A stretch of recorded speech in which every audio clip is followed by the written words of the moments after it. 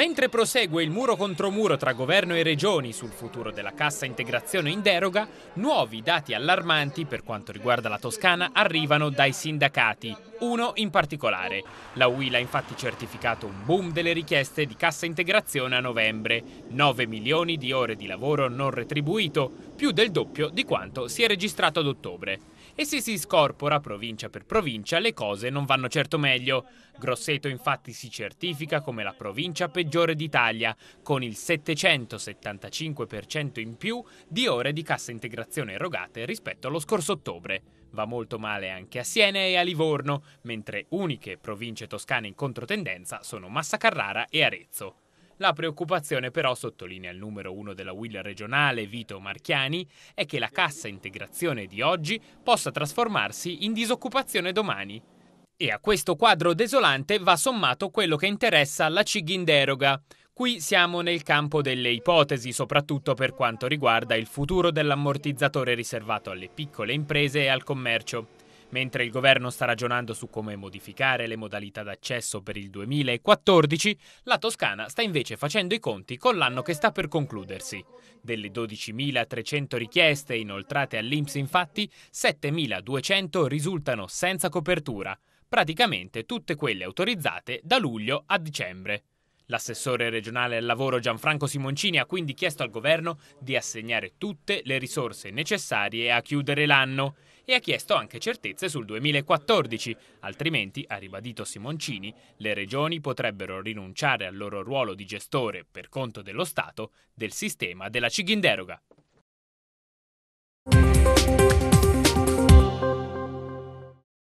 5 piazze per 5 diversi generi musicali, dal gospel di Piazza Santissima Annunziata alla musica classica di Piazza della Signoria, dal jazz di Piazza della Repubblica al DJ set di Largo Annigoni. Ecco qui il menù per chi vorrà festeggiare l'ultima notte del 2013 a Firenze, menù il cui evento clou sarà il concerto pop di Max Pezzali. L'ex leader degli 883 si esibirà a partire dalla mezzanotte nel piazzale antistante la stazione di Santa Maria Novella e punta a trasformare la propria esibizione in un grande karaoke a cielo aperto.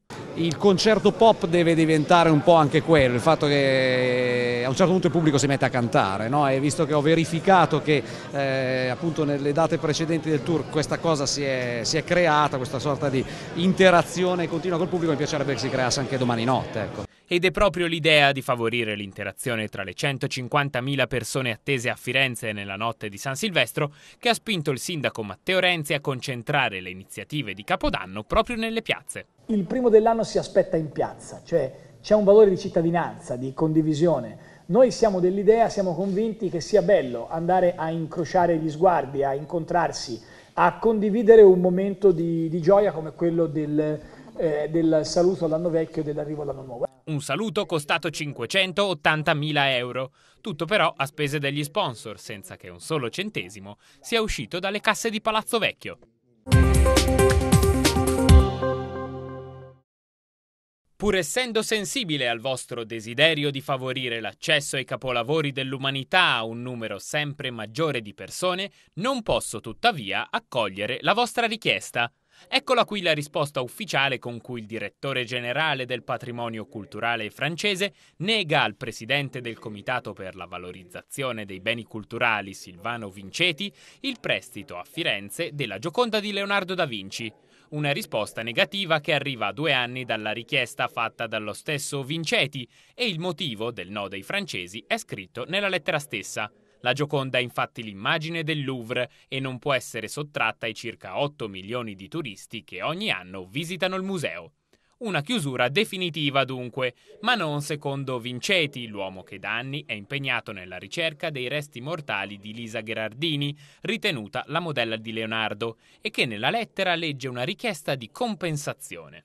Eh, a Firenze c'è il David di, di Michelangelo, potrebbe essere un compensativo, potrebbe essere uno scambio di, di, opere d'arte del secolo, del secolo attuale. Non dimentichiamoci che la libera circolazione di opere d'arte fa parte integrante ormai di quello che sono i principi fondamentali che legano l'Unione Europea. Vinceti lancia dunque un appello al ministro dei beni culturali Massimo Brai e al sindaco di Firenze Matteo Renzi perché sposino la sua causa e appoggino il progetto presso le autorità francesi, anche perché, sottolinea Vinceti, avere temporaneamente la Gioconda a Firenze significherebbe un milione e mezzo circa di turisti in più ogni anno.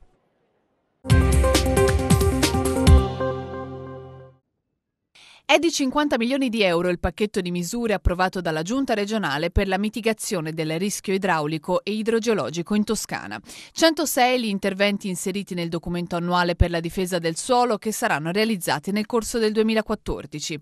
Il documento, introdotto quest'anno grazie alle recenti normative regionali, consiste in un unico atto con il quale vengono selezionati e programmati gli interventi di difesa del suolo da realizzare sulla base di requisiti di urgenza e cantierabilità. Il maggior numero delle misure previste, con un numero di 51, riguarderà il bacino dell'Arno, considerato una priorità assoluta. 35 interventi interesseranno invece il bacino Toscana Nord, 20 il bacino Toscana Sud e Costa. Un piano per l'ambiente che, secondo l'assessore regionale Annarita Bramerini, permetterà di ridurre concretamente i rischi idrogeologici, evitando di agire soltanto dopo il verificarsi dei danni.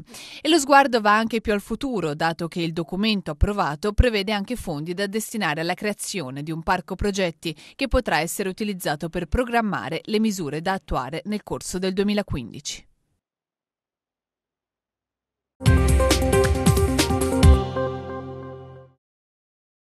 A partire dai primi giorni del 2014 negli ospedali della Toscana, i pazienti che soffrono di determinate malattie potranno essere curati anche attraverso medicinali a base di cannabis. Il 30 dicembre infatti tutte le ASL della regione hanno ricevuto dall'assessorato alla sanità le disposizioni necessarie ad applicare una legge che per la verità in Toscana è in vigore già dal maggio del 2012, ma che fino ad ora non poteva essere effettivamente operativa. Mancava infatti il regolamento attuativo licenziato con delibera di giunta solo il 23 dicembre scorso. A questo punto i direttori generali delle ASL avranno il compito di individuare le strutture, ospedali o cliniche dove sarà possibile prescrivere e somministrare i medicinali cannabis derivati approvati dal Ministero della Salute come il Bedrocan o il Sativex le ricette non saranno ripetibili e nel caso in cui ci fosse necessità di proseguire il trattamento al di fuori delle strutture ospedaliere, saranno comunque i medici a dover fornire i farmaci al paziente. Visto che si tratta di medicinali passati dal sistema sanitario regionale, poi potranno accedere a queste cure solo i pazienti residenti o domiciliati in Toscana. Il campo di applicazione è vasto, si va dai malati di sclerosi multipla a chi soffre di glaucoma o di dolori cronici neuropatici, a chi lamenta nausea e vomito dovuti agli effetti della chemioterapia. Mentre sono esclusi pazienti che soffrono di patologie cardiovascolari, insufficienza renale o hanno una storia di dipendenza di qualsiasi natura, L'introduzione del regolamento attuativo della legge sui cannabinoidi è stata salutata con favore dai consiglieri regionali del Partito Democratico Enzo Brogi e di Sinistra Ecologia e Libertà Mauro Romanelli, secondo cui però il testo della delibera è ulteriormente migliorabile, anche se rimane un passo avanti per una battaglia di civiltà che dà speranza a tanti ammalati.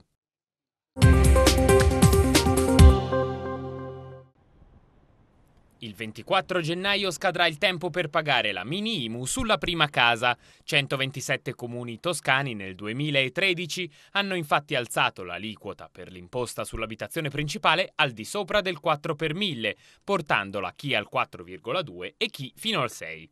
Misura legittima che però lo Stato ha deciso di non rimborsare per intero ai comuni, lasciando da pagare il 40% di questo incremento ai proprietari di case.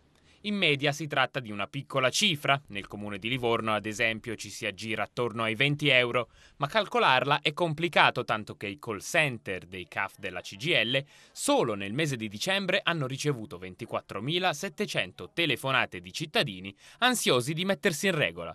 Si rischia che alcuni cittadini dovranno pagare magari molto di più per la consulenza che per l'imposta. Io credo che se non, se non si voleva far pagare l'imposta sulla prima casa per il 2012 bisognava che lo Stato si facesse carico del totale costo di questa operazione. Così non è stato, ma confusione si aggiunge confusione. Ogni comune ha infatti fissato una quota di versamento minimo per le imposte tra i 2 e i 18 euro. Alcuni comuni che hanno una soglia di 2 euro, per cui un'imposta che supera quella soglia va pagata, altri comuni che hanno una soglia fino a 18 euro, per cui si paga solo se si supera quella soglia come imposta complessiva. La CGL ha calcolato che il 15% circa dei proprietari di case potrebbe essere esentato dal pagamento della mini IMU, ma per capirlo, e qui sta il paradosso, si dovranno elaborare le singole pratiche. Risultato ci sarà chi, pur non dovendo versare l'imposta, dovrà pagare il CAF o il commercialista che gliel'avrà calcolata.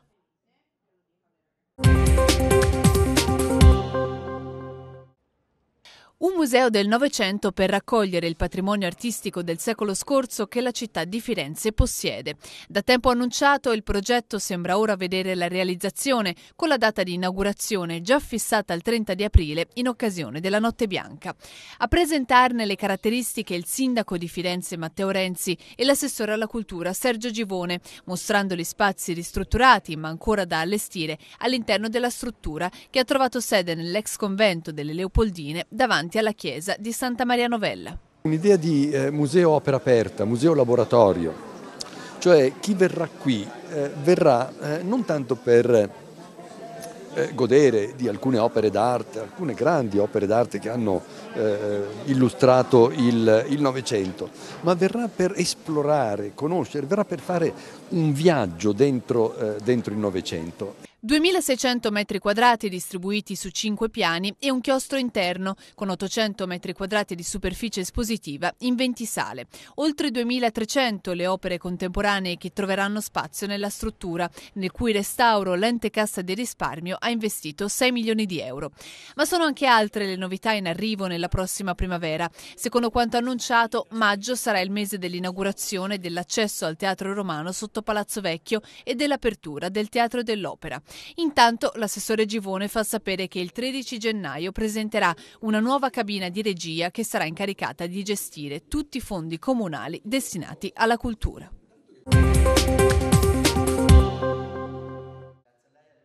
La legge elettorale si può fare entro un mese. Una tempistica spiazzante, abituati ai rinvii della politica, quella di Matteo Renzi, che da Firenze, in occasione di una conferenza stampa indetta per presentare alcune novità nell'offerta culturale della città, presenta le tre proposte di legge elettorale inviate ai partiti. Il nocciolo della richiesta è basta seguire la logica della convenienza. Troviamo un accordo comune. Chi vince deve essere chiaro il giorno stesso chi vince deve governare per cinque anni senza inciuci e senza larghe intese e chi vince deve garantire un sistema dell'alternanza. Stabilità sì, ma alternanza. La prima è una riforma basata sulla legge elettorale spagnola, divisione del territorio in 118 circoscrizioni, con attribuzione alla lista vincente di un premio di maggioranza del 15%.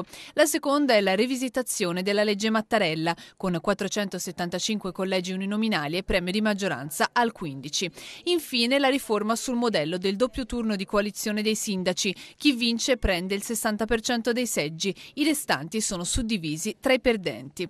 Renzi punta tutto tutto dunque sulla tempistica necessaria per la sua credibilità da innovatore e sul dialogo aperto a tutte le parti politiche, ma con particolare attenzione al Movimento 5 Stelle.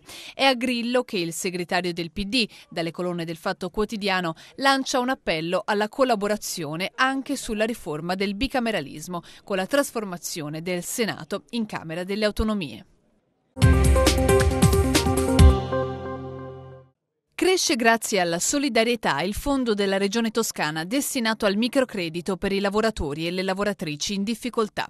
Benefattrice questa volta è la CGL Toscana che, ottenuti 30.000 euro dal risarcimento di una causa civile intentata contro un quotidiano nazionale per diffamazione, sceglie di destinare la cifra al fondo per il microcredito. Non sono soldi che arrivano da nostri iscritti, ci sembrava giusto che tornassero con un segno nella società. E il segno che gli abbiamo voluto dare appunto è quello di finanziare il microcredito istituito dalla Regione per sostenere sia lavoratori in difficoltà sia le persone che in questa crisi stanno soffrendo particolarmente e hanno difficoltà ad accedere al credito. Una somma che va ad aggiungersi ai 5 milioni di euro l'anno per tre anni garantiti dalla Regione al fine di assicurare la copertura totale degli interessi e delle garanzie sugli importi erogati dalle banche. Una misura messa a punto per andare incontro alle difficoltà di chi, complice la crisi, non riceve lo stipendio da almeno due mesi. L'iniziativa di stare vicino a chi ha difficoltà e soprattutto a coloro che hanno bisogno di avere contributi, di avere un reddito, io credo sia una delle più importanti che abbiamo messo in campo e purtroppo penso anche nel corso del 2014 destinata a crescere. Il presidente Rossi ha colto l'occasione per chiedere risposte al governo Letta sul taglio del 10% operato dalla legge di stabilità sui contratti di solidarietà. Il governatore ha fatto sapere che la regione si impegnerà affinché ai lavoratori non manchi quello che il governo ha deciso di tagliare.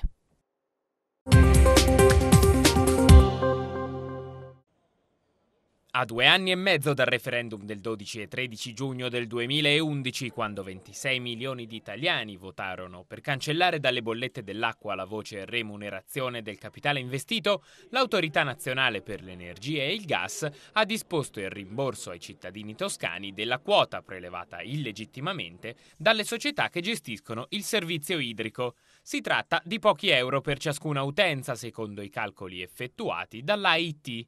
Nell'area servita da Acque Spa i cittadini si vedranno restituire 4,55 euro, mentre chi ha come gestore Acquedotto Fiora solo 37 centesimi.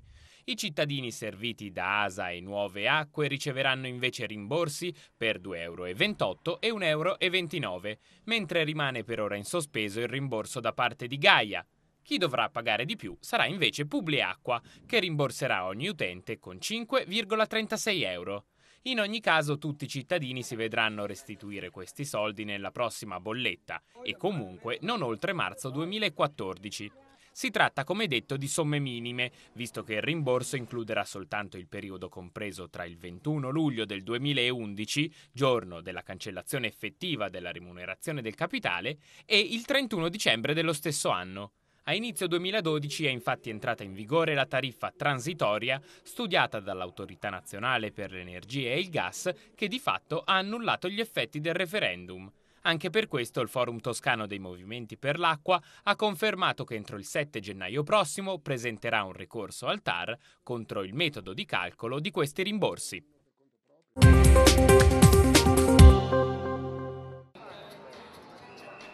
Mentre prosegue il muro contro muro tra governo e regioni sul futuro della cassa integrazione in deroga, nuovi dati allarmanti per quanto riguarda la Toscana arrivano dai sindacati. Uno in particolare. La UIL ha infatti certificato un boom delle richieste di cassa integrazione a novembre, 9 milioni di ore di lavoro non retribuito, più del doppio di quanto si è registrato ad ottobre. E se si scorpora provincia per provincia, le cose non vanno certo meglio. Grosseto infatti si certifica come la provincia peggiore d'Italia, con il 775% in più di ore di cassa integrazione erogate rispetto allo scorso ottobre. Va molto male anche a Siena e a Livorno, mentre uniche province toscane in controtendenza sono Massa Carrara e Arezzo. La preoccupazione però, sottolinea il numero uno della Will regionale Vito Marchiani, è che la cassa integrazione di oggi possa trasformarsi in disoccupazione domani. E a questo quadro desolante va sommato quello che interessa la CIG in deroga. Qui siamo nel campo delle ipotesi, soprattutto per quanto riguarda il futuro dell'ammortizzatore riservato alle piccole imprese e al commercio. Mentre il governo sta ragionando su come modificare le modalità d'accesso per il 2014, la Toscana sta invece facendo i conti con l'anno che sta per concludersi. Delle 12.300 richieste inoltrate all'Inps infatti, 7.200 risultano senza copertura, praticamente tutte quelle autorizzate da luglio a dicembre. L'assessore regionale al lavoro Gianfranco Simoncini ha quindi chiesto al governo di assegnare tutte le risorse necessarie a chiudere l'anno e ha chiesto anche certezze sul 2014, altrimenti, ha ribadito Simoncini, le regioni potrebbero rinunciare al loro ruolo di gestore per conto dello Stato del sistema della Cighinderoga.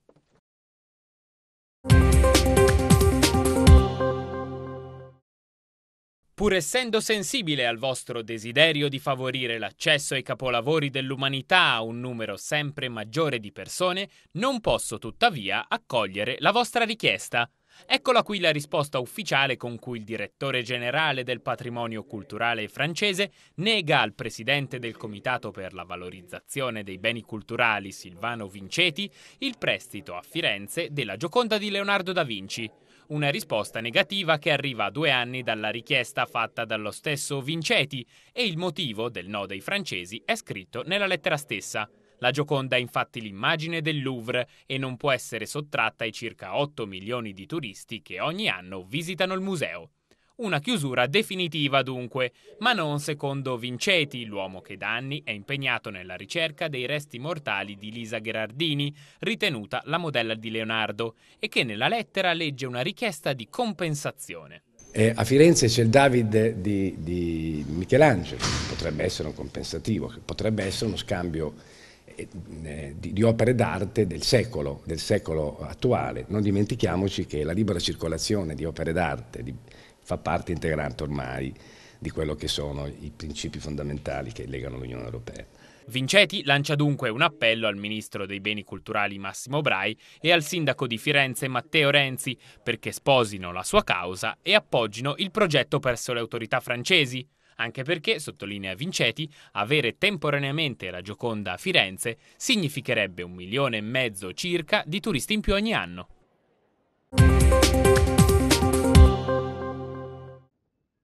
È di 50 milioni di euro il pacchetto di misure approvato dalla Giunta regionale per la mitigazione del rischio idraulico e idrogeologico in Toscana. 106 gli interventi inseriti nel documento annuale per la difesa del suolo che saranno realizzati nel corso del 2014. Il documento, introdotto quest'anno grazie alle recenti normative regionali, consiste in un unico atto con il quale vengono selezionati e programmati gli interventi di difesa del suolo da realizzare sulla base di requisiti di urgenza e cantierabilità. Il maggior numero delle misure previste, con un numero di 51, riguarderà il bacino dell'Arno, considerato una priorità assoluta. 35 interventi interesseranno invece il bacino Toscana Nord, 20 il bacino Toscana Sud e Costa. Un piano per l'ambiente che, secondo l'assessore regionale Annarita Bramerini, permetterà di ridurre concretamente i rischi idrogeologici, evitando di agire soltanto dopo il verificarsi dei danni.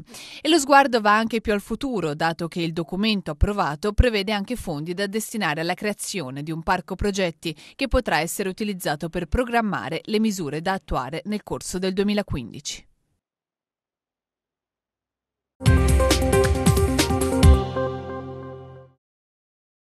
A partire dai primi giorni del 2014 negli ospedali della Toscana, i pazienti che soffrono di determinate malattie potranno essere curati anche attraverso medicinali a base di cannabis. Il 30 dicembre infatti tutte le ASL della regione hanno ricevuto dall'assessorato alla sanità le disposizioni necessarie ad applicare una legge che per la verità in Toscana è in vigore già dal maggio del 2012, ma che fino ad ora non poteva essere effettivamente operativa. Mancava infatti il regolamento attuativo licenziato con delibera di giunta solo il 23 dicembre scorso. A questo punto i direttori generali delle ASL avranno il compito di individuare le strutture, ospedali o cliniche dove sarà possibile prescrivere e somministrare i medicinali cannabis derivati approvati dal Ministero della Salute come il Bedrocan o il Sativex le ricette non saranno ripetibili e nel caso in cui ci fosse necessità di proseguire il trattamento al di fuori delle strutture ospedaliere, saranno comunque i medici a dover fornire i farmaci al paziente.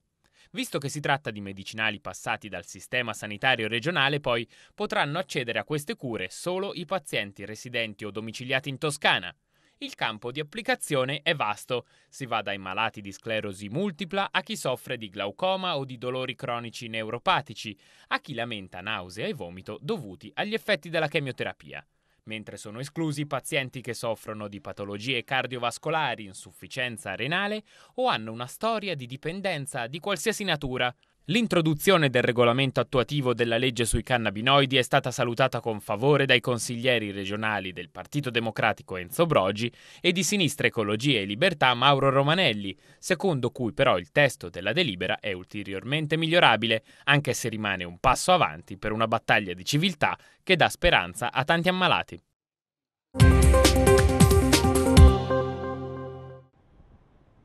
Il 24 gennaio scadrà il tempo per pagare la mini IMU sulla prima casa. 127 comuni toscani nel 2013 hanno infatti alzato l'aliquota per l'imposta sull'abitazione principale al di sopra del 4 per 1000, portandola chi al 4,2 e chi fino al 6.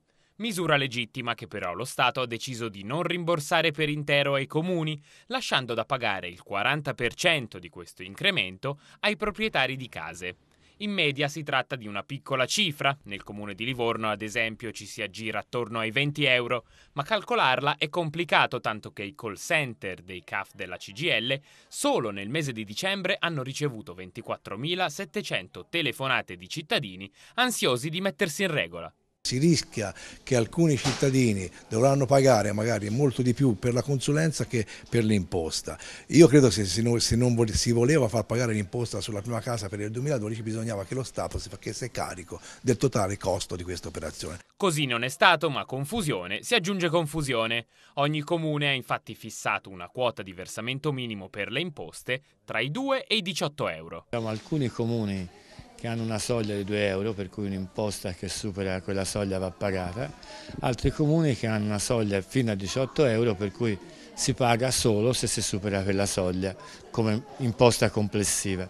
La CGL ha calcolato che il 15% circa dei proprietari di case potrebbe essere esentato dal pagamento della mini IMU, ma per capirlo, e qui sta il paradosso, si dovranno elaborare le singole pratiche. Risultato, ci sarà chi, pur non dovendo versare l'imposta, dovrà pagare il CAF o il commercialista che gliel'avrà calcolata.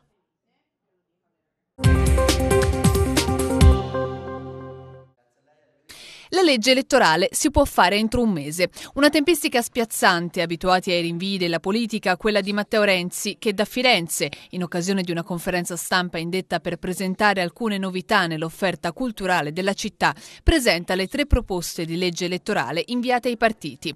Il nocciolo della richiesta è basta seguire la logica della convenienza. Troviamo un accordo comune. Chi vince deve essere chiaro il giorno stesso chi vince deve governare per cinque anni senza inciuci e senza larghe intese e chi vince deve garantire un sistema dell'alternanza. Stabilità sì, ma alternanza. La prima è una riforma basata sulla legge elettorale spagnola, divisione del territorio in 118 circoscrizioni, con attribuzione alla lista vincente di un premio di maggioranza del 15%. La seconda è la rivisitazione della legge Mattarella, con 475 collegi uninominali e premio di maggioranza al 15%. Infine la riforma sul modello del doppio turno di coalizione dei sindaci. Chi vince prende il 60% dei seggi, i restanti sono suddivisi tra i perdenti.